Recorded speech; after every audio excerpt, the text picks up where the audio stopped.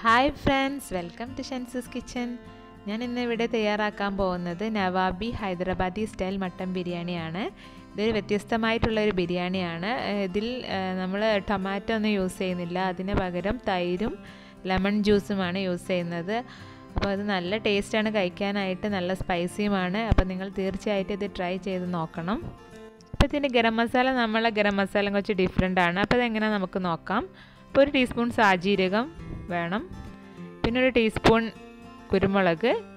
പിന്നെ ഒരു ഇത് ഇത് ബ്ലാക്ക് കാടമാണ്. കറുപ്പ് ഏലക്ക അഞ്ച് സിനമൺ സ്റ്റിക്ക് പട്ട നാല് ഏലക്ക ഒരു തക്കോട്ടം ആറ് ഗ്രാമ്പു ഒരു ടീസ്പൂൺ വലിയ ജീരകം രണ്ട് ജാതിപത്രി എന്ന് പറയും ഇതിന്. പിന്നെ രണ്ട് ബേ ലീഫ് ഓർ വാനല ഒരു പാൻ ചൂടാക്കിയിട്ട് ഇതിലേക്ക് എല്ലാം ഇട്ട് കൊടുക്കാം. ഇത് രണ്ട് മിനിറ്റ് നമുക്കൊന്ന് ചൂടാക്കിയെടുക്കാം. ഫ്ലെയിം ലോ ആക്കി വെച്ചിട്ട് വേണം നമ്മൾ ഇത് ചൂടാക്കിയെടുക്കാൻ. അല്ലെങ്കിൽ എല്ലാം മൊത്തത്തിലൊക്കെ കരിഞ്ഞു പോവും. അപ്പോൾ അത് നമ്മൾ ശ്രദ്ധിക്കണം. ഓക്കെ അപ്പോൾ ഇതൊന്ന് ചൂടാക്കിയെടുക്കാം. ഇത് ചൂടായിട്ടുണ്ട്. ഇത് നമുക്ക് മിക്സിയിലോട്ട് ഇട്ടിട്ട് നന്നായിട്ട് പൊടിച്ചെടുക്കണം.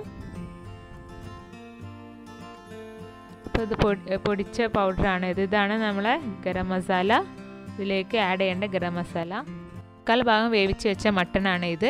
നമുക്ക് ഇതിലേക്ക് നമുക്ക് ആറ് ടീസ്പൂൺ തൈര് ചേർത്ത് കൊടുക്കണം. അപ്പോൾ നമുക്ക് ആറ് ടീസ്പൂൺ തൈര് ചേർത്ത് കൊടുക്കാം. ഇത് പുളിയില്ലാത്ത തൈരാണ് ഞാൻ ചേർത്ത് കൊടുക്കുന്നത്.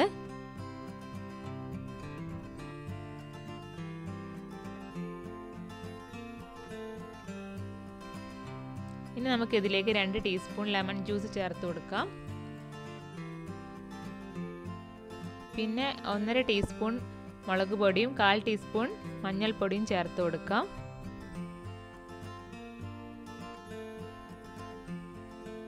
പിന്നെ ഇതിലേക്ക് ഒരു ടീസ്പൂൺ ഗാർലിക് പേസ്റ്റും ജിഞ്ചർ പേസ്റ്റും ചേർത്ത് കൊടുക്കാം. പിന്നെ രണ്ട് ടീസ്പൂൺ പച്ചമുളക് ക്രഷ് ചെയ്തത് ചേർത്ത് കൊടുക്കാം. പിന്നെ ഇതിലേക്ക് നമുക്ക് രണ്ട് ടേബിൾ സ്പൂൺ മല്ലിയില ചോപ്പ് ചെയ്തതും രണ്ട് ടേബിൾ സ്പൂൺ പുതിന ഇല ചോപ്പ് ചെയ്തതും ചേർത്ത് കൊടുക്കാം. പിന്നെ ഈ പുതിനയിലും മല്ലിയിലൊക്കെ നിങ്ങൾ ഫ്രഷ് എടുക്കാൻ ശ്രദ്ധിക്കണം. ഫ്രഷ് ആകുമ്പോൾ നല്ലൊരു ടേസ്റ്റ് വരും. ഫ്രഷ് അല്ലെങ്കിൽ ഇതിലേക്ക് അതിന്റെ ആ ടേസ്റ്റ് വേറൊരു ഡിഫറെന്റ് ആയിട്ട് തന്നെ വരും. അതുകൊണ്ട് നിങ്ങൾ മല്ലിയിലും പുതിനയിലും ഒക്കെ എടുക്കുമ്പോൾ ഫ്രഷ് എടുക്കാൻ ശ്രദ്ധിക്കണം. ഇനി കുറച്ച് ഇതിലേക്ക് ഉപ്പ് ആഡ് ചെയ്ത് കൊടുക്കാം. നമ്മൾ മട്ടനിലും ഉപ്പ് ഇട്ടിട്ടുണ്ട്. അപ്പോൾ കുറച്ചുകൂടെ ഇതിൽ ആവശ്യമുണ്ട്. അപ്പം കുറച്ചുകൂടെ ചേർത്ത് കൊടുക്കാം. എന്നിട്ട് നന്നായിട്ട് കൈ കൊണ്ട് മിക്സ് ചെയ്തെടുക്കാം.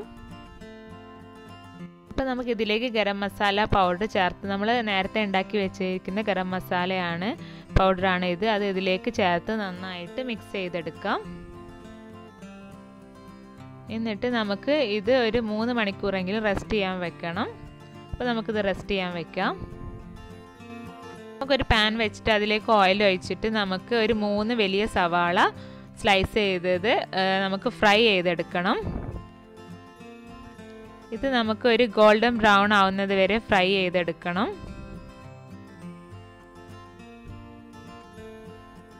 അപ്പോൾ ഇത് ഫ്രൈ ആയി കിട്ടിയിട്ടുണ്ട്. നല്ല ഗോൾഡൻ ബ്രൗൺ ആയി വന്നിട്ടുണ്ട്. നല്ല ക്രിസ്പി ആയിട്ടുണ്ട്. ഓക്കെ ഇതുപോലെ തന്നെ ബാക്കിയുള്ള ഓണിയൻ സ്ലൈസസ് നമുക്ക് ഫ്രൈ ചെയ്തെടുക്കണം.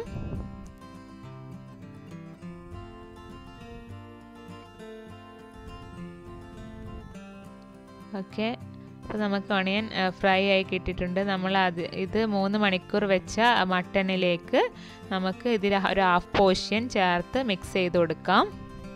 ബാക്കി നമുക്ക് ഗാർണിഷിന് വേണ്ടിയിട്ടാണ് അത് മാറ്റി വെക്കണം. ഒരു ഹാഫ് പോർഷൻ ഇതിലേക്ക് ആഡ് ചെയ്ത് കൊടുക്കണം. എന്നിട്ട് നന്നായിട്ട് ഒന്ന് മിക്സ് ചെയ്തെടുക്കണം.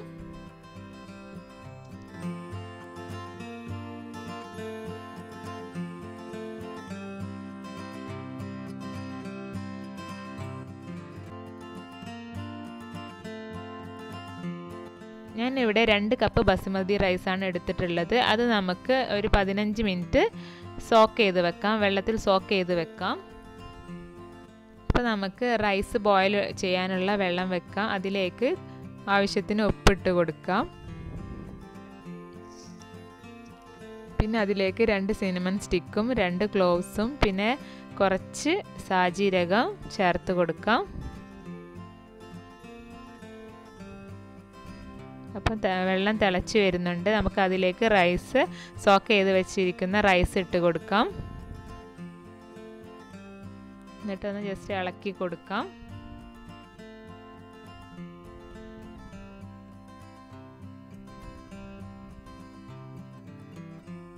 പിന്നെ ഇത് റൈസ് ഫുള്ളി കുക്കാവണ്ട ഒരു മുക്കാൽ ഭാഗം കുക്കായാൽ മതി. നമ്മൾ ഒരു പാൻ വെച്ചിട്ട് അത് ചൂടായിട്ട് അതിലേക്ക് ഓയിൽ ഒഴിച്ചു കൊടുക്കാം. എന്നിട്ട് നമ്മൾ ആ മാരിനേറ്റ് ചെയ്ത് വെച്ച മട്ടൻ ഇതിലേക്ക് ഇട്ട് കൊടുക്കണം. മസ മട്ടനിലുള്ള മസാ ഇതിന്റെ മസാലാസിന്റെ ഒക്കെ ആ റോ ടേസ്റ്റൊക്കെ ഒന്ന് മാറി കിട്ടാനാണ് നമ്മളിതിലിട്ടൊന്ന് സോട്ട് ചെയ്ത് കൊടുക്കുന്നത്.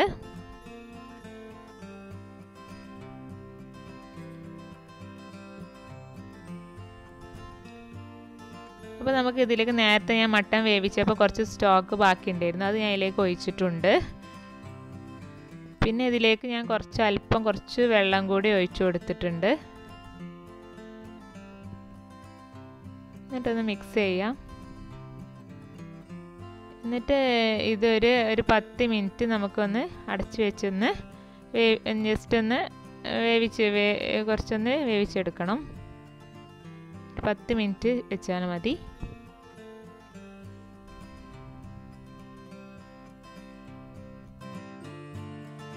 അപ്പം നമ്മൾ ആ മട്ടൻ ഗ്രേവി ഇവിടെ റെഡി ആയിട്ടുണ്ട്. നല്ല സ്മെല്ലാണ് വരുന്നത്. അപ്പം ഇത് നന്നായിട്ട് മട്ടൻ നന്നായിട്ട് വെന്ത് കിട്ടിയിട്ടുണ്ട്. ഉണ്ടോ ഇനി നമുക്ക് ഈ മട്ടനിലോട്ട് മുക്കാൽ ഭാഗം വേവിച്ച് വെച്ചിരിക്കുന്ന റൈസ് ചേർത്ത് കൊടുക്കാം. നമ്മൾ ഈ റൈസ് ഇട്ട് കൊടുത്താൽ നന്നായിട്ട് പ്രസ് ചെയ്ത് വെക്കാൻ പാടില്ല. നമ്മൾ പ്രസ് ചെയ്ത് കഴിഞ്ഞാൽ ആ സ്റ്റീം ഒന്നും മുകളിലോട്ട് കയറി വരില്ല അതുകൊണ്ട് പ്രസ് ചെയ്യരുത്.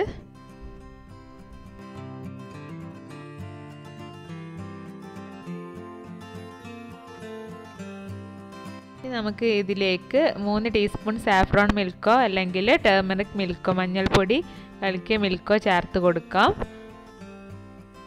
പിന്നെ നമുക്കിതിലേക്ക് ഒരു മൂന്ന് ടീസ്പൂൺ ഗീ ചേർത്ത് കൊടുക്കാം.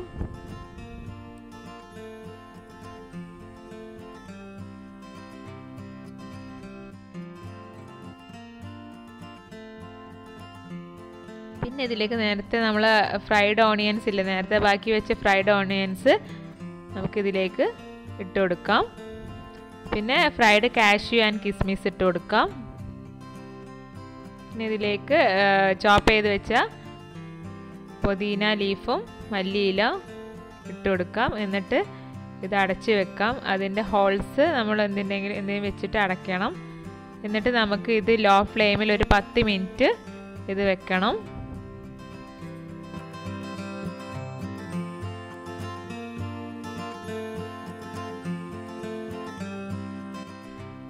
നമ്മളെ മട്ടൻ ബിരിയാണി റെഡി ആയാൽ നോക്കാം. ഓക്കെ ഇത് റെഡി ആയിട്ടുണ്ട്. അപ്പോൾ നമുക്കിതൊന്ന് പതുക്കെ മിക്സ് ചെയ്തെടുക്കാം. പതുക്കെ മിക്സ് ചെയ്യാൻ പാടുള്ളൂ. ഒന്നായിട്ട് ഇട്ട് ഇളക്കിയാൽ നമ്മൾ ആ റൈസൊക്കെ നന്നായിട്ട് ഉടഞ്ഞു പോകും. അപ്പോൾ നമ്മൾ പതുക്കെ ഒന്ന് മിക്സ് ചെയ്തെടുക്കണം. ഇതുപോലെ അങ്ങനെ പതുക്കെ മിക്സ് ചെയ്തെടുക്കാം. ഞാൻ മട്ടൺ ഒന്ന് കാണിച്ചു തരാം. മട്ടൺ നന്നായിട്ട് വെന്ത് നല്ല സോഫ്റ്റായിട്ട് വന്നിട്ടുണ്ട്. ഓക്കെ നമുക്ക് ഒന്ന് പതുക്കെ ഒന്ന് മിക്സ് ചെയ്തെടുക്കാം.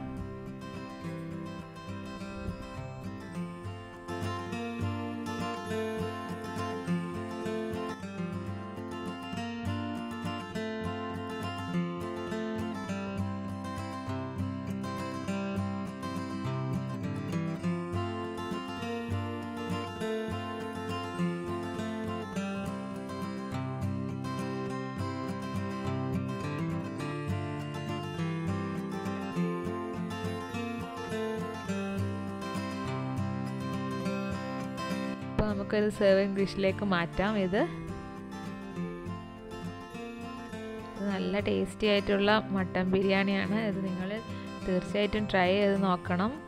ഇത് സ്പെഷ്യൽ ടേസ്റ്റാണ് നമ്മൾ സാധാ ബിരിയാണി പോലെയല്ല. ഇത് നല്ല അത്യാവശ്യം സ്പൈസിയുമാണ് നല്ല ടേസ്റ്റുമാണ് കഴിക്കാനായിട്ട്. ഇപ്പോൾ ഹൈദരാബാദി ഇഷ്ട ബിരിയാണി ഇഷ്ടമുള്ളവർ ഇത് തീർച്ചയായിട്ടും ട്രൈ ചെയ്ത് നോക്കണം. എല്ലാവരും ട്രൈ ചെയ്ത് നോക്കണം.